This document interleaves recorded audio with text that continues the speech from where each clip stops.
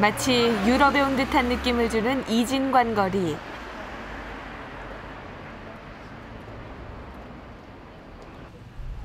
개항 당시의 영사관과 외국인들이 거주했던 주택들이 모여 있는 곳이다.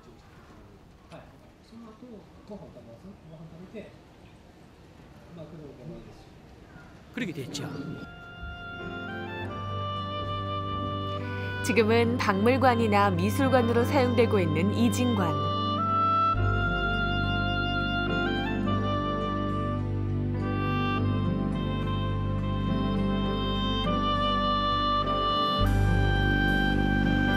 그 중에서도 이 건물은 지붕 위의 풍향계로 유명하다.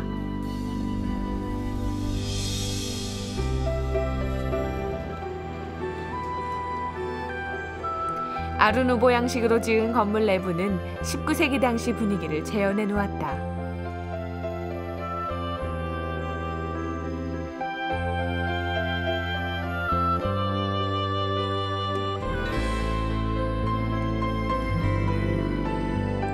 남아있는 몇 장의 사진들이 개항 당시를 짐작하게 한다.